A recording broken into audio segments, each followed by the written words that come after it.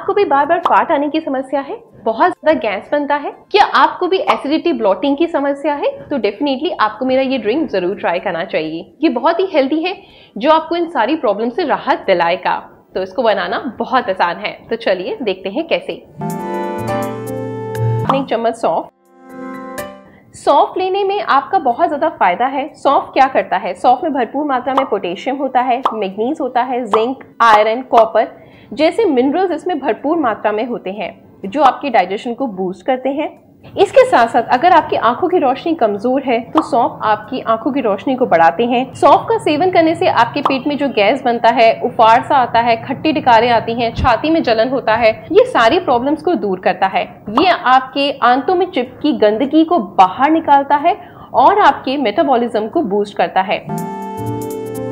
जो है half spoon अजवाइन अजवाइन के बारे में तो क्या कहने? ये छोटी छोटी अजवाइन के दाने आपके शरीर के लिए औषधि का काम करते हैं। हमारी दादी, नानी, कब से हमें छोटे छोटे पेट दर्द होना, जी मचलना वॉमिटिंग आना, इन सब में हमें अजवाइन देती ही आ रही है, क्योंकि अजवाइन आपके शरीर को अद्भुत फ़ायदे देता है। ये आपके ब्लॉटिंग की समस्या को खत्म करता है इनडाइजेशन को खत्म करता है, आपको बहुत ज़्यादा गैस की प्रॉब्लम है फाट की प्रॉब्लम है, जिससे हमें पब्लिक एरिया में बहुत ज़्यादा शर्मिंदगी का सामना करना पड़ता है, उन सबसे आपको बचाती है। इनफैक्ट ये आपकी डाइजेशन को अच्छे से बूस्ट करती है मेटाबॉलिज्म को बूस्ट करती है। जो भी आप खाना खा रहे हैं, वो आपको अच्छे से पचेगा, ना कि वो आपके शरीर में सड़ेगा। अजवाइन आपके शरीर में से जितने भी बड़ा हुआ कोलेस्ट्रॉल है, उसको खत्म करती है और आपके शरीर में से टॉक्सिन्स को, यानी जितनी भी गंदगी जमा है, आपके आंतों में चिपकी हुई, आपके शरीर में जमा है उन सबको ये बाहर निकालती है, जिससे कि आपका शरीर अंदर से बिल्कुल साफ़ हो जाता है, ठीक है? अब आपने क्या करना है, जब खाना खाने बैठेंगे, उस तभी आपने इसको एक गिलास पानी में भिगो देना है। जब आप खाना खा लेंगे, जब उसका एक घंटा बीत जाएगा, उसके बाद आपने एक बर्तन लेना है, उसमें एक गिलास पानी जो अजवाइन और सौंफ वाला है, उसमें ऐड कर दीजिए। जब वो अच्छे से उबल जाए तो आपने क्या करना है, इसको छान कर एक कांच के ग्लास में निकाल देना है।